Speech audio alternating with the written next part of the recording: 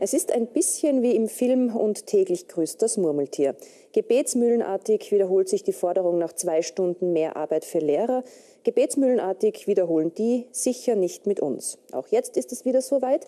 Auslöser war die Planung der künftigen Finanzen. Da hat die Regierung klargemacht, gespart werden muss überall, auch bei den Beamten, auch bei den Lehrern. Sie sollen mehr arbeiten bei gleichem Lohn. Die Gewerkschaften laufen Sturm, nicht zuletzt auch wegen Wiens Bürgermeister Häupl, der sich in einem saloppen Ton über die Diskussion lustig gemacht hat.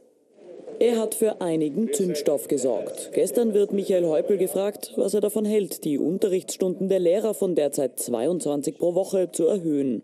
Wenn ich 22 Stunden in der Woche arbeite, dann bin ich am Dienstag zum Mittag fertig. Kann ich heimgehen. Heute betont der Bürgermeister, er habe nicht die Lehrer, sondern die Politik der Gewerkschaft kritisiert. Entschuldigen will er sich nicht. Getrübte Stimmung dann heute beim 70-Jahr-Jubiläum des österreichischen Gewerkschaftsbundes. Auch Häupels Parteikollegen reagieren empört und ermahnen die Regierung. Ich würde Sie bitten, jetzt auf den letzten Metern dieser Gesetzeswerdung auch die notwendige Sensibilität gegenüber Berufsgruppen aufzubringen, den Lehrer arbeiten 40 Stunden und nicht keine 22 Stunden. Wenn ich eine Berufsgruppe sozusagen sage als Stadtratspräsident, der ist ja auch Stadtratspräsident und gleichzeitig Bürgermeister und Landeshauptmann von Wien, dann hieße das ja, dass der Chef gar nicht weiß, was seine Mitarbeiter machen.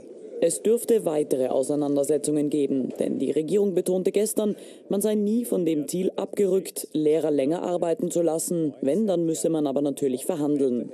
Die letzten Verhandlungen dieser Art sind zumindest für die Unterrichtsministerin ordentlich gescheitert. Auch Claudia Schmid wollte die Lehrer zwei Stunden länger unterrichten lassen. Die Gewerkschaft stellte sich quer. Und auch jetzt bringen sich die Interessenvertreter wieder in Stellung. Sparen bei den Beamten, ein No-Go für den Gewerkschaftsboss.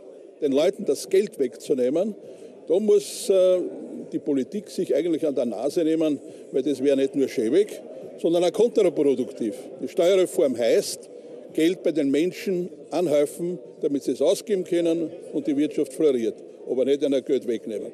Und selbst das Thema Streik steht im Raum. Eine Gewerkschaft muss immer bereit sein, so Fritz Neugebauer.